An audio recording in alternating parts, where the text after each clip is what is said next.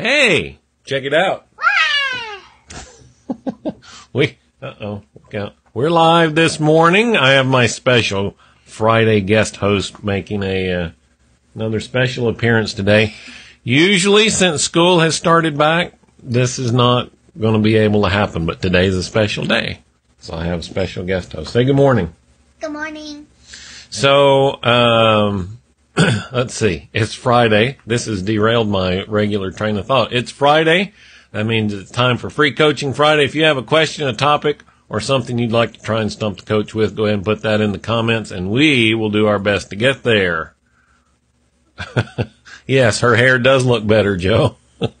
she brushed it this morning. That was a requirement of being on video with me this morning. Hey, if you happen to be listening on your favorite podcast catcher and you can't see all the happenings here, head over to 7minutesinthemorning.com. That'll get you to the right place on Facebook. You can watch the videos, see the replay. Hey, Adrian, good morning to you. Who's that? Uh, you can see the replay and join in the conversation. Whether you make it over while we're still live or you catch the replay, I still spend some time in the comments to try and answer everything every morning. Hey there, Mr. Keith. How are you doing this morning? Don't go anywhere. I want you to, to show us what you have here.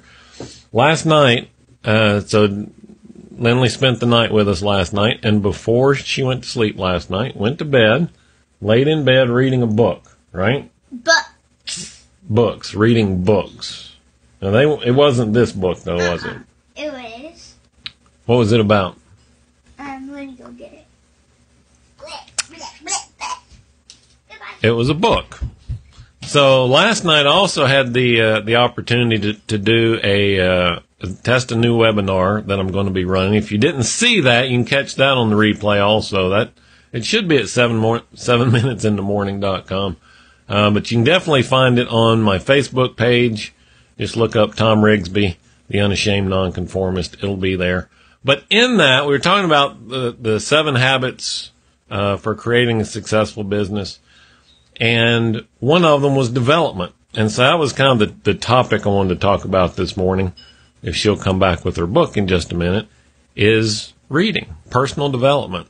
And it had a scary stat that I shared last night in that webinar that uh, Pew Research Center has found that over 24%, 24%, a quarter of the population of the United States has not read a book in any form in the last year. So they haven't picked up a physical book. They haven't uh, listened to an audio book, hadn't read it on their iDevice, nothing. They've read nothing in the last year. Now, none of those were what you were reading last night either. I couldn't find it. It's on your shelf by your clothes. Anyway, that's okay. You can show them this book, though, right? No, I show all three. Just show them this book. Hmm. Pick out one book. I picked out one book. Wait. At any rate, the point is, and this is kind of the. Oh, that battery's almost done. This is the point I wanted to make today, right? you have to keep reading. You have to keep doing personal development, even if. So 2014. Let me hold that one for a minute. In 2014, I read 63 books. That was a lot. It was an awful lot. That included listening, reading, uh, physical books, reading on the Kindle, whatnot. You know, it doesn't have to be that many. I don't even read that many anymore. I try to try to do one to two books a month so that I, I've slowed down so that I can spend more time in them, study them, and actually get something from it. But, but the point is, and the reason we want to pursue books or videos or whatever kind of learning you decide you want to pursue, the, the reason we do that is because there's only two states that we can exist in growth or decay. You're either growing or you're rotting, right? Those are the only two options that you have. In just a second. Those are the only two options that you have. So I'd rather personally be growing than rotting. Wouldn't you? Would you rather grow or rot? Grow. grow. I agree with that. All right, what book do you want to show?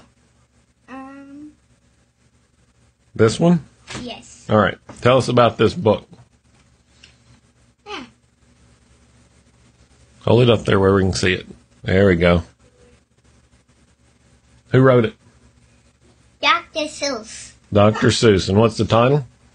Um, oh, say, can you say dinosaur? There you go. So, to wrap, kind of wrap things up, find your find your method of development, right? Whether it's reading, um, a, a, a mastermind group to be in, videos, audios, whatever it is. Find your method of growth, glom onto that, and pursue that. Hold on to that and be a lifelong learner. All right, we got to go. You want to say goodbye? No, me want to do this. Well, we don't have time for that this morning. Why? We'll do it next time. Mm. You gonna say goodbye or you gonna pout?